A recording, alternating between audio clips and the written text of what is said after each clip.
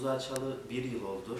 Bir yıldır Ereğli'de Ereğli'de geçtiğimiz yıl hizmet vermeye başlayan pedagog Derviş Tunağan Yurter bugün bir açıklama yaptı. e, kurumumuzu açalı bir yıl oldu.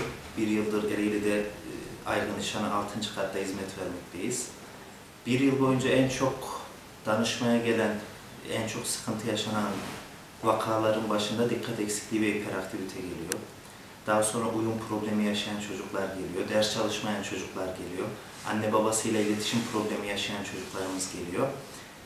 Ee, Bir yıl boyunca dikkat eksikliği ve hiperaktiviteden dediğim gibi çok fazla talep olmuştu ve buna özel eğitim programları hazırladık. Bunlara devam ediyoruz. Ayrıca özel eğitim gruplarımız otizm, öğrenme güçlüğü, e, zeka geriliği gibi gruplarımız yine danışmanlık hizmeti almak için kurumumuza geliyorlar. Daha sonra ruhsal problem yaşayan çocuklarımız, çeşitli davranış problemleri yaşayan çocuklarımız e, destek almak için kurumumuza geliyorlar.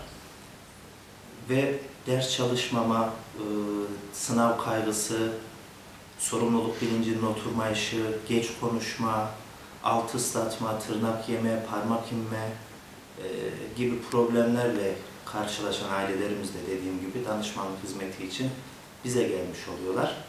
Bir yıl boyunca şunu gördük, e, çeşitli alanlarda, farklı e, vakalarda e, danışmanlık hizmeti için buraya geldiler. Fakat şunu gördük ki biraz geç kalınıyor. Yani ailelerimizin yaptığı en büyük hatalardan biri ihmal edişleri.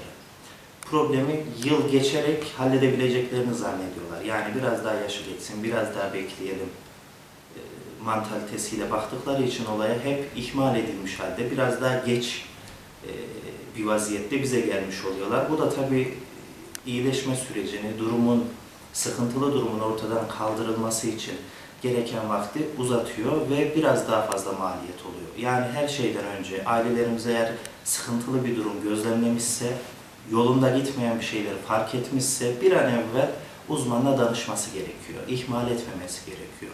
Ereğli için gördüğümüz öncelikle bu oldu. Ve bir yıl boyunca yine şunu gördük. Normalde e, bizim meslek grubumuz biraz daha üst seviye e, sosyoekonomik, biraz daha üst sosyoekonomik düzeye hitap ettiği için e, Ankara'da, Konya'da, büyükşehir merkezlerinde genelde bu aileler daha çok talep ederdi bu tarz hizmeti. Fakat Ereğli'de şu oldu, her kesimden aileler gelmeye başladı.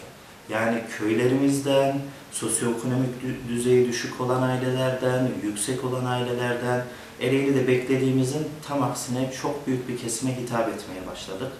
Ve Ereğli'de tek olduğumuzdan kaynaklı daha fazla bir e, talep olmaya başladı. E, bir yılımızı doldurduk. E, Ereğli'ye geldiğim için hiç pişman değilim.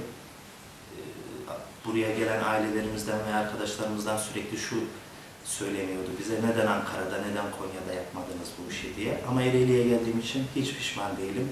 Bir yıl boyunca Ereğli halkı bize sahip çıktı, bize talep ettiler, bizden hizmet istediler. Ve inşallah uzun yıllar burada kalmayı düşünüyoruz. Ee, Şu anlık ailelerimize diyeceklerim ilgileri için, bir yıllık ilgileri için hepsine teşekkür ederiz.